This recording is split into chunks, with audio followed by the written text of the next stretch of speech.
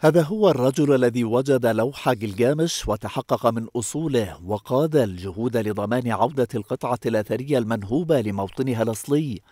واعتبر أن العثور على اللوح وإعادته يعد أمرا شخصيا لأنه من أصول عراقية.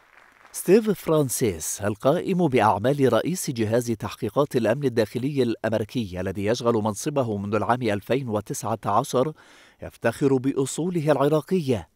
فقد ولد والدا ستيف فرانسيس في العراق ويتحدر من أصول كلدانية. وتم تعيينه في وحدة الجمارك الأمريكية في العام 2003 التي تم إرسالها إلى العراق للمساعدة في حماية القطع الأثرية المنهوبة. قصة لوح حلم جلجامش تشبه بشكل أو بآخر رحلة جلجامش في البحث عن الخلود. فاللوح الذي سرق من العراق إذ بان حرب عام 1991 تنقل بين عدة بلدان ليعود أخيرا إلى موطنه الأصلي. استعادة الآثار بالنسبة لباحث مثلي هي استعادة للثقة بالنفس في المجتمع العراقي.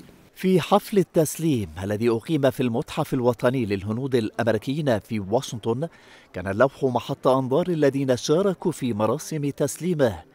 إذ ترنو العيون إلى تلك الخطوط المسمارية التي سطرت قبل ثلاثة آلاف وخمسمائة عام لتفتح الباب أمام الملاحم الشعرية الرومانية والإغريقية.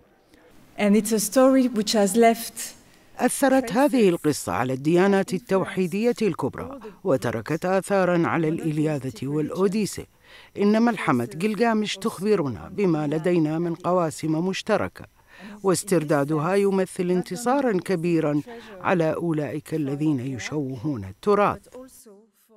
يذكر أنه تم العثور على اللوح الطيني المسماري لوح حلم جلجامش الذي تبلغ قيمته مليون وسبعمائة ألف دولار في العام 1853 كجزء من مجموعة من 12 لوحا بين أنقاض مكتبة الملك الآشوري أشور بانيبال.